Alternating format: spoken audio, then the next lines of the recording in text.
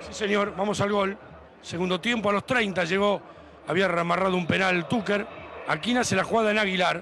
Miren la jugada que hace un lateral que llega al fondo, gana la pelota, sigue, sin miedo, el centro atrás el taquito de Consistre. El taquito de Consistre y la multitud atrás.